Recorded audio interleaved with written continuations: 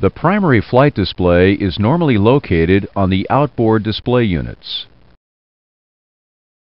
The PFD presents a dynamic color display of all parameters necessary for flight path control. Indications on the PFD are airspeed, attitude, altitude, vertical speed, and heading track information. Flight mode annunciations and AFDS status are displayed here. These and other indications are discussed in later lessons.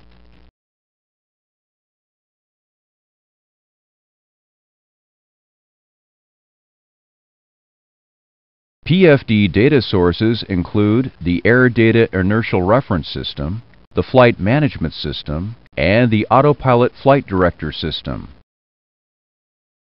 This lesson covers these primary indications. We'll start by looking at the airspeed indication. The airspeed indication is a moving tape that displays current indicated airspeed at all times. 30 knots is the lowest indicated value. Current Mach is displayed at airspeeds greater than 0.4 Mach. A speed trend vector shows predicted airspeed in 10 seconds based on the current acceleration or deceleration rate. Selected speed and the selected speed bug correspond to the FMS target speed when using VNAV, or the current IAS Mach window setting. The MCP and IAS Mach controls are located on the glare shield.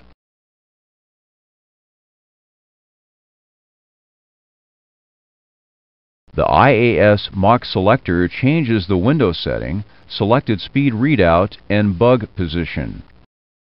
When the selected speed is off scale, the partially hidden bug is parked at the top or bottom of the tape. The IAS Mach reference switch changes the displays from IAS to Mach. Push the IAS Mach reference switch. The display toggles from IAS at airspeeds greater than 0.4 Mach. Now let's look at airspeed items controlled through the FMS. During pre-flight, the no V-speed flag is displayed until takeoff reference speeds are entered through the CDU. The takeoff reference page shows calculated takeoff reference speeds. The speeds are selected for PFD display with these line select keys. Push each of the line select keys, then note the airspeed indication display. The no V speed flag is removed after all three speeds are selected. Now set V2 in the IAS Mach window while the takeoff reference page speeds are still in view. Since all speed values are currently off scale, a parked V1 is shown above its associated value. As speed increases, Individual reference speed bugs display and move with the airspeed tape.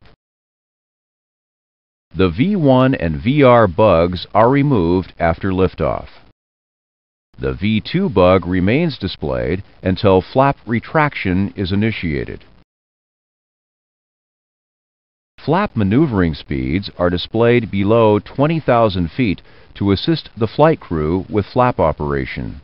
The bugs indicate maneuvering speed for the current flap setting and the next retracted flap setting. Prior to descent, a landing flaps setting and landing reference speed should be selected on the approach reference page. Select Flaps 30 on the CDU.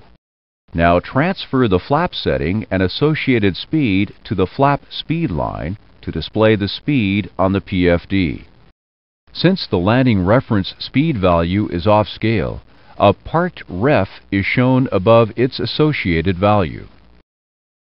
As speed decreases, the landing reference speed bug displays and moves with the airspeed tape. Landing flaps are now set. Set VREF plus 5 knots in the IAS Mach window.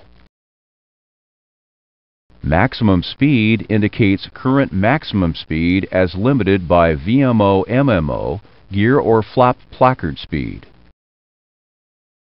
Minimum maneuvering speed indicates the maneuver margin to the stick shaker or low speed buffet. Minimum speed indicates the airspeed at which stick shaker activation occurs. At higher altitudes, with high gross weight, a maximum maneuvering speed may be displayed. It indicates the maneuver margin to high speed buffet. Next, we'll discuss a few of the items displayed on the attitude indication. The 777 attitude indication is like other attitude indicators, but with enhancements to some items. The bank pointer indicates bank relative to the bank scale. At bank angles beyond 35 degrees, the pointer fills and turns amber until bank is reduced. A slip skid indication is located beneath the bank pointer. With large deflections, the indication fills until the slip or skid is reduced. A pitch limit indication, or PLI, shows the pitch angle at which stick shaker occurs based on current flight conditions. The PLI displays automatically anytime flaps are not in the up position or anytime airspeed is close to stick shaker speed even with flaps up. Other displays in this area are covered in the second PFD lesson. Now let's look at the altitude indication. The altitude indication is also a moving tape that displays current barometric altitude. During pre-flight, the landing altitude flag is displayed until an origin airfield is entered on the route page. After entering the origin, a landing altitude indication replaces the flag. The indication is set to the departure airport or runway altitude until the airplane is 400 nautical or halfway to the destination, whichever occurs first. After that, the landing altitude indication is set to the destination airport or runway altitude. A landing altitude reference bar extends 1,000 feet above the indication. The bar is amber from 0 to 500 feet and white from 500 to 1,000 feet.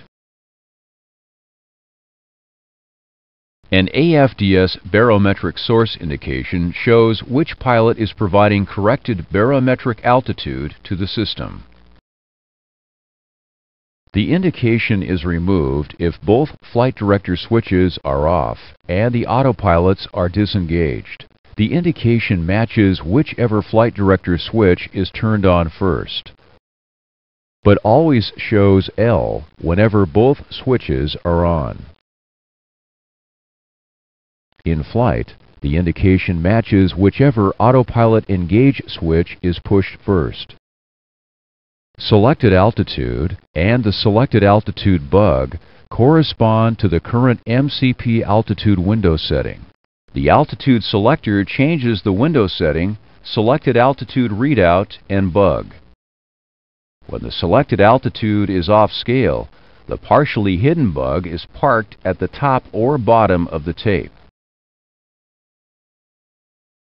Set 25,000 feet for climb out. Only selected altitude is controlled through the MCP. Other altitude related indications are controlled through the EFIS control panel.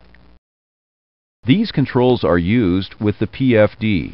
The meters switch displays metric altitudes on the altitude indication. Push the meters switch. Metric displays are available for current and selected altitudes. Push the meters switch again to remove the display. The barometric reference selector is used to switch the barometric reference between inches of mercury and hectopascals. The barometric selector controls the barometric setting. The selector has slow and fast slew positions and is spring-loaded to center. The slow position increments in hundredths of an inch, or 1 hectopascal. Fast slew increments in tenths of an inch, or 10 hectopascals.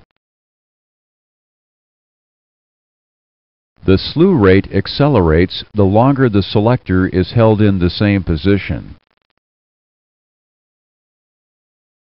Rotate the selector to set 29.82 inches. During climb, an amber alert is displayed if the local altimeter remains set after climbing above the transition altitude. Transition altitude is displayed on the climb page. The barometric standard switch selects the standard barometric setting. Push the barometric standard switch. Notice that standard is now displayed and the alert condition removed. When standard is displayed, a local altimeter setting can be pre-selected by rotating the barometric selector. The pre-selected setting is shown here in the current barometric reference units. Pre-select a setting of 1016 hectopascals. The barometric reference selector should be set to hectopascals before rotating the barometric selector. Touch the highlighted areas. Touch the highlighted areas. During descent, an amber alert is displayed if standard remains set after descending below the transition level. Transition level is displayed on the descent forecast page. Push the barometric standard switch to change the barometric setting. When a pre-selected setting is present, it becomes the new barometric setting and replaces standard. Without a pre-selected setting, the last setting before standard was selected is redisplayed. The altitude indication also allows the use of QFE or field elevation settings during takeoff and landing. QFE mode is activated on the approach reference page with this line select key. The currently active mode is shown in large green letters. Now select QFE mode. QFE displays next to the barometric setting. The attention box displays for 10 seconds. Notice the altitude tape background turns green. The landing altitude reference moves to 0 feet, and the barometric setting does not automatically change. The correct QFE value must be set manually. Set QFE at 2980 inches. During climb or descent alerts, the QFE also changes color. Push the barometric standard switch. When standard is selected, a smaller QFE displays next to the pre-select line. Notice the tape background changes to gray. Now let's return to QNH use. Select QNH mode. QNH and the attention box are displayed for only 10 seconds after activating QNH mode.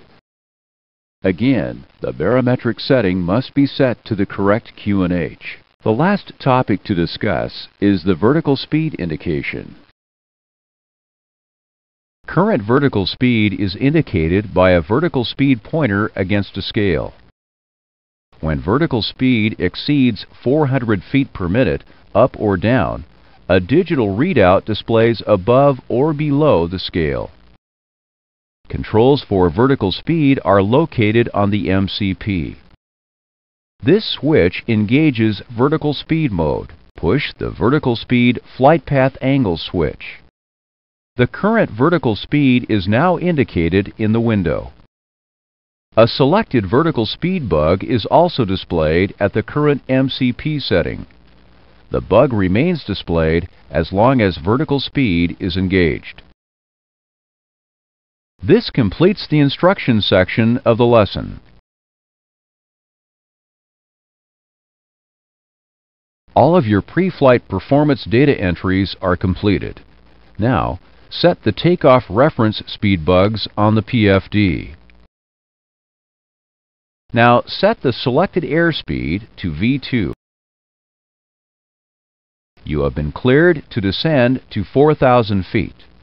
Pre-select the local altimeter of 30.02.